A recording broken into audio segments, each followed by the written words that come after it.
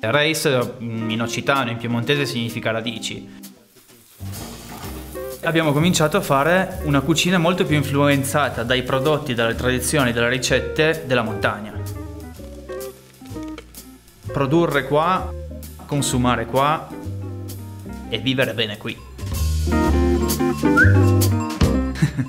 Siamo la montagna al mio posto.